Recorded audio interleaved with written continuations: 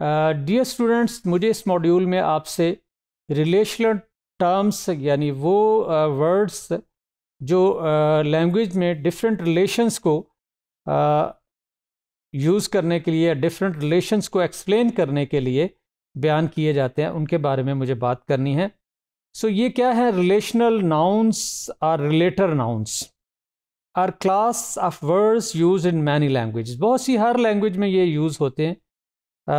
जिसमें भी हम तो हम, किस भी लैंग्वेज में, जिस तरह हम अपनी लैंग्वेज में या इंग्लिश लैंग्वेज में जिस तरह ये यूज़ हो रहे हैं, मैं, मुझे उस, मैं उन पे बात करूँगा आपसे। So functionally syntactically nouns although they convey the meaning for which other languages use adposition यानी दूसरी लैंग्वेज के लिए अपोजिशंस और prepositions or postpositions use करती है। यानी वर्ड्स की पोजीशन से पहले और वर्ड्स की पोजीशंस के बाद। तो इस तरह मतलब इनका इस्तेमाल जो है, वो क्योंकि लैंग्वेज में सेंटेंसेस को मीनिंग्स को कनेक्ट करने के लिए ये यूज़ होते हैं और ये रिलेशनल टर्म्स जो हैं दीज आर वेरी इंपॉर्टेंट इनके बगैर कोई सेंटेंस ना तो मुकम्मल होता है, ना कोई फ्रेज और ना ही कोई मतलब मीनिंग कन्वे होते हैं किसी सेंटेंस के। तो ये बहुत इंपॉर्टेंट हैं जिनकी स्टडी करने के लिए। तो हम इनको डिटेल से देखते हैं। So relation terms describe the relationship between two objects or people such as big small in out on and under तो ये डिफरेंट पोजीशंस को uh, ज़ाहिर कर रहे हैं प्री पोजीशंस को। और these terms describe for location and time in sentences तो सेंटेंसेस में टाइम और लोकेशन को ये ज़ाहिर करते हैं। और एक्विजिशन ऑर्डर इन सेंटेंसेस और जो लैंग्वेज में एक्विजिशन ऑर्डर है उसको भी ये ज़ाहिर करते हैं। Acquisition order is influenced by the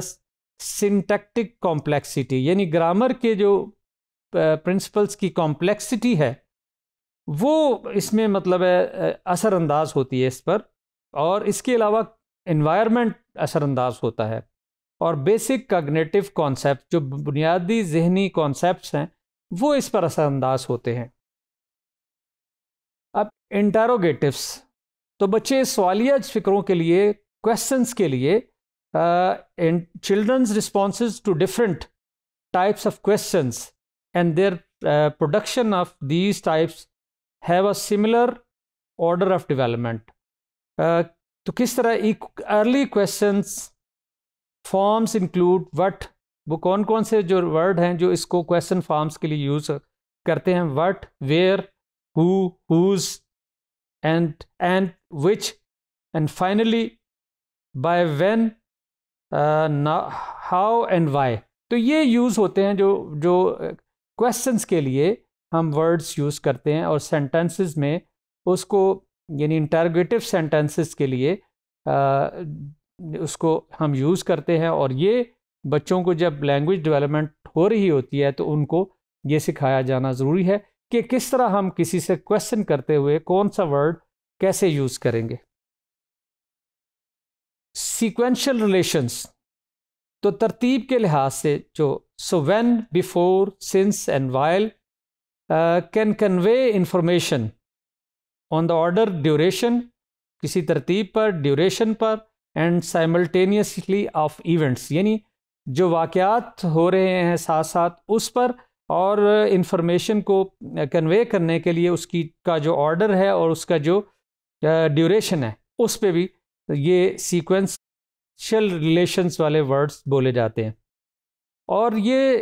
acquisition order is related to their use the concept each represents यानी हर जो कॉन्सेप्ट रिप्रेजेंट किया जाता है, उसके लिए बोले जाते हैं। Generally after and before proceed words of duration तो ड्यूरेशन के जो, के लिए जो वर्ड्स हम बोलते हैं before and after such as since and until तो हम किसी ड्यूरेशन के बताने के लिए, किसी सन के बताने के लिए या किसी दौरानिया के बताने के लिए, जैसे सिंस फार का हम यूज़ करते हैं, या कुछ इस तरह करके। तो ये लैंग्वेज डेवलपमेंट में भी लैंग्वेज एक्विजिशन में इन रिलेशन टर्म्स का इस्तेमाल very important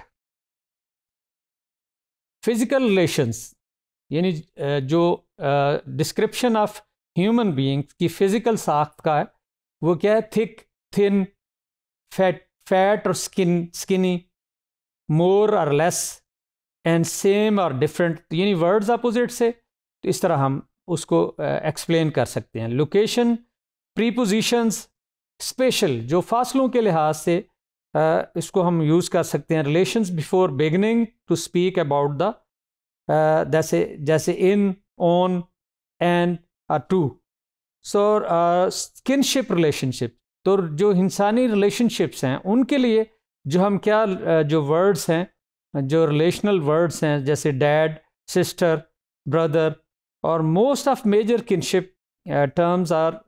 understood by the age of ten years तो यानी ये ये थे रिलेशनल टर्म्स जिनके बारे में मैंने आपसे बात की कि इनका डिफरेंट मौाक़े पर और डिफरेंट स्टेजेस पर किस तरह इस्तेमाल किया जाता है। और इसके बगैर मैंने बताया कि कोई भी सेंटेंस या कोई भी लैंग्वेज वो ना तो अपने मफहूम कन्वे कर सकती है और ना करेक्ट सेंस कन्वे कर सकती है। तो जिस पे मैंने अभी आपसे बात की है।